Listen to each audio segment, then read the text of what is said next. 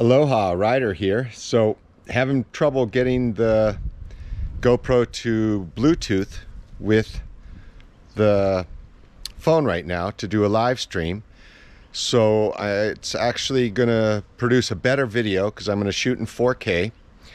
And this is what we're gonna be doing today. So a lot of, lot of things going on. Uh, to start off with,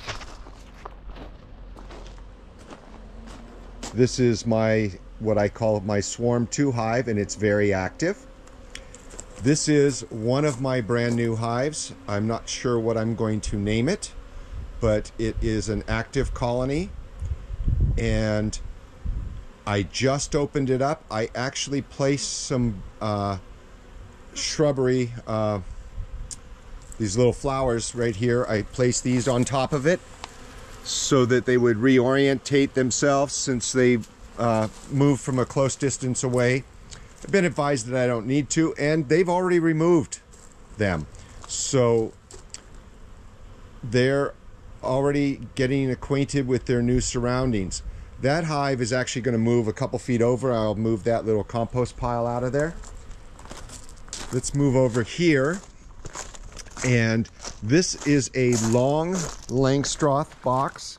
It's a similar setup to a top bee, top bar beehive. However, uh, I haven't opened it up yet. You can see the bees are very eager to um, come out and check out their new environment. Um, there's probably a few dead bees in there too that they want to uh, push out. It is going to go in the corner over there by the fence. And the first thing I'm going to do is put in some stones for bases on each of the feet. I know the measurements. I've got a level so I can level it up nice. And it's going to take just a little bit of work to set it up over there. I've already pulled out the pampas grass that was here. There was um, a pampas grass as big as that one right there. And then this is one of the other hives. So I got two standard hives with colonies in them. Again, the light's not on this yet, but you can see there are hundreds of bees in there, if not thousands, that are ready to go out and find their new home. So when I open this up, I'm gonna do the same thing of putting some sort of branch or something in front of it just to uh, encourage them to reorientate themselves. So this box is gonna move out of the way once I set the stones in over here and have them level. A friend is gonna help me move that box. Then we're also going to go in and inspect this hive, which is my what I call my main hive that I've had for almost nine years now. And this one's going to be a normal inspection as the swarm number two hive is going to be uh, a normal inspection. The other hives I'm just basically going to open up and I'm going to treat them all with Formic Pro. So this one's going to get treated with Formic Pro. This one's going to get treated with Formic Pro. This hive over here will get treated with Formic Pro.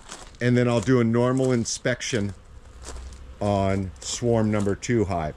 Now let me go over and show you one last thing. So let's take the long road. Please ignore the mess. It is early in spring. It's technically not even spring yet but I have a lot of messes to clean up around here. So one of the reasons why I got these four new hives is someone decided to get out of the business for a couple different reasons. And I want to give a big shout out to Guenter for gifting me all this equipment and these four colonies. This colony right here is an extremely defensive colony. So when this hive gets opened up, um, they they are pretty agitated and uh, got to be super careful with this. Oh, looks like the position I chose actually has provided some ants to this. So that's something I'll have to deal with. This one here, I will most likely be requeening next weekend. I'm going to treat it with Formic Pro first. And this will be the last hive I work on should be a pretty exciting video uh, if I'm able to do it from here. I want to stream live, but I may not be able to if I can't solve the, the Bluetooth problem. So that's it for right now. Just a short video.